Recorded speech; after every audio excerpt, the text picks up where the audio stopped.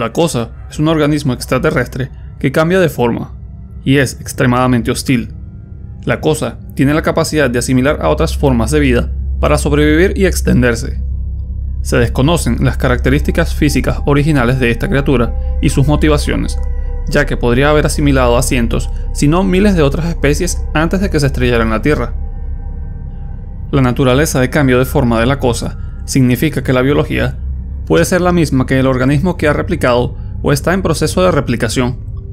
Esta criatura tiene la capacidad de reconstituirse después de un daño inmenso, y es invulnerable a la mayoría de formas convencionales de ataque.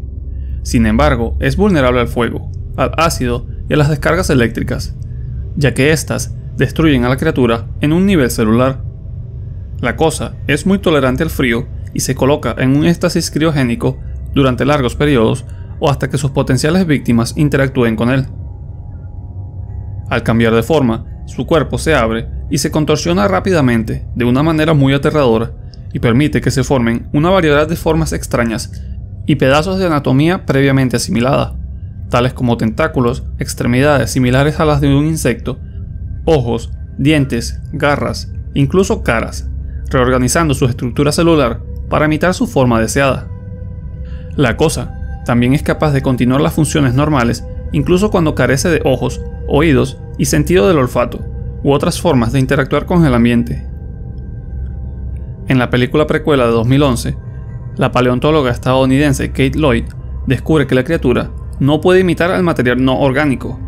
Ella se da cuenta de esto cuando encuentra un pequeño charco de sangre con rellenos dentales, suponiendo que la criatura los escupió cuando asimiló a su víctima. Cualquier forma de la cosa es capaz de ejercer una cantidad enorme de fuerza, velocidad y resistencia, como es el caso de la cosa perro, que logra someter y asimilar a varios perros, y también la cosa cien pies, que dominó a Jonas a pesar de la vasta diferencia de tamaño. La cosa es un organismo que cambia de forma, pero debe entrar en contacto con su huésped para comenzar el proceso de análisis y copia de su estructura celular. Para hacer esto, las células comienzan a digerir y replicar al huésped, y finalmente se apoderan de todo el cuerpo. La cosa también solo asimilará a presas recién asesinadas o aún vivas. Cualquier organismo que haya estado muerto durante un periodo prolongado de tiempo será ignorado por esta. Alternativamente, la cosa puede depender de la corriente sanguínea para asimilar rápidamente a su presa. Cooper fue asesinado por el Norris Sting mordiendo ambos de sus brazos y presumiblemente estuvo expuesto a la infección de la cosa. Sin embargo, su cadáver no mostró ningún signo de estar reviviendo y un análisis de sangre post-mortem resultó en negativo. Presumiblemente, fue debido a que él se desangró tan rápido que la infección no tuvo tiempo de extenderse antes de que su biomasa se volviera inútil. Después de que la cosa haya asimilado a un organismo, es capaz de imitarlos exactamente, incluso sus recuerdos, características, manerismos y todos sus rasgos, Incluso los defectos como el corazón débil de Norris fueron replicados. Cuando una parte de la cosa es cortada en dos, ambas piezas se convierten en criaturas independientes que operan por separado. Por ejemplo, cuando la cabeza de la cosa de Norris crece piernas e intenta escapar. La replicación varía según los sucesos en cuestión y si la cosa atacante es más pequeña o está lesionada. Si la cosa en cuestión está lesionada de alguna manera o es mucho más pequeña que la presa, generalmente solo agregará la biomasa a sí misma e imitará a la presa para aumentar su tamaño y fuerza, para contrarrestar cualquier amenaza. Sin embargo, si la cosa ataca con éxito a la presa en un lugar seguro, solo se alimentará de la presa y hará una copia de la víctima y luego volverá a su forma anterior, para buscar otra víctima para asimilar. Este organismo solo tiene en mente la asimilación y la autoconservación. Como se ve en las películas, la cosa se salvará a sí misma hasta el punto de que incluso atacará a otras formas de sí mismo, para evitar la atención y las sospechas. Cuando la cosa se queda sola con una presa adecuada, comenzará a abrirse y disparará cientos de tentáculos que agarrarán al objetivo y comenzarán a asimilarlo. En ciertos casos, después del descubrimiento o de una alta posibilidad de descubrimiento, la cosa a veces realizará tácticas de divide y vencerás. Como en el caso de Edvard, que se dividió en tres formas separadas. Una atacó y comenzó a asimilar a Jonas. Otro de sus miembros se escabulló para una posible asimilación en un lugar más seguro, y el cuerpo principal de Edvard mató a Derek y asimiló con éxito a Adam Finch. Esto también se realiza, aunque con mucho menos éxito, por la cosa de Norris. Cuando son expuestas, las extensiones de la cosa reaccionarán dependiendo de qué tan grandes sean en comparación con la amenaza. Con las cosas más pequeñas, generalmente intentarán escapar y emboscar a sus presas cuando el individuo sea más vulnerable. Sin embargo, una cosa más grande generalmente atacará a la presa de frente e intentará abrumar a los enemigos en lugar de escapar, aunque si no ha perdido completamente su cobertura, intentará huir. Antes de continuar con el video, me gustaría invitarte a que te suscribas a mi canal y que actives la campanita para recibir notificaciones sobre cuando subo nuevo video. El nivel de inteligencia de la cosa es medida en función de su tamaño. Cuanto más grande sea la cosa, es probable que sea más inteligente. Y cuanto más pequeña sea la cosa, menos inteligente será y actuará de una manera más instintiva. El análisis de sangre de Macready depende directamente de esta idea, al demostrar que una criatura más pequeña, como lo es el caso de una muestra de sangre, se defenderá y reaccionará violentamente por su autoconservación, mientras que una criatura más grande, como una imitación humana, será lo suficientemente inteligente como para permanecer oculta. La novela tiene a Macready explicando su teoría con más detalle que en la película. Macready explica que cuando es atacada, parece que incluso un fragmento de estas cosas intentará sobrevivir lo mejor que pueda, incluso una muestra de su sangre. Por supuesto, no hay un sistema nervioso superior y ningún cerebro para reprimir un instinto natural como ese. Las células tienen que actuar instintivamente en lugar de inteligentemente, protegerse de la congelación, digamos, o de la incineración, del tipo que podría ser causado por una aguja caliente, por ejemplo.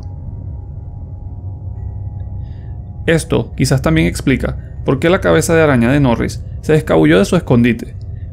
Quizás su masa corporal no era lo suficientemente grande como para formar un centro cerebral inteligente.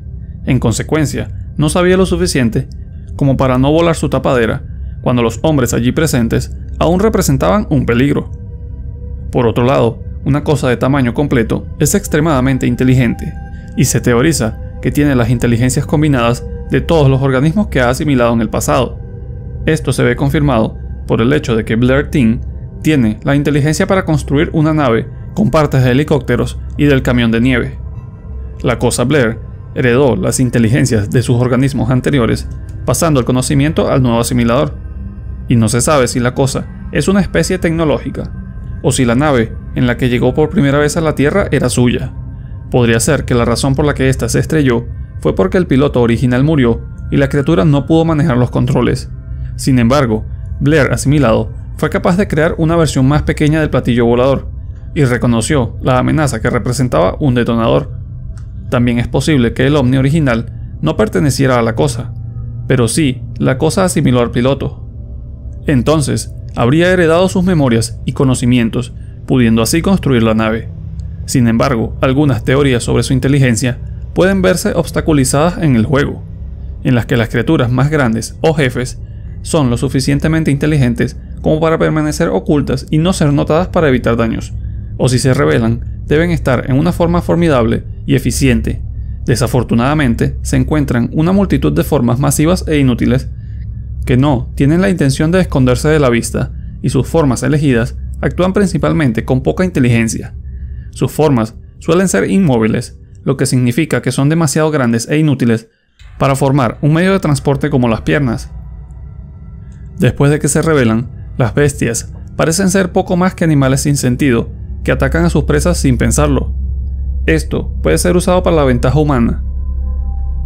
Juliet Ting, por ejemplo, se precipitó directamente detrás de Lars y Kate cuando se dio cuenta de que estaban en la habitación, sin darse cuenta de que tenían un lanzallama y posteriormente fue asesinada. Algunas bestias cosas, sin embargo, muestran ciertos grados de inteligencia.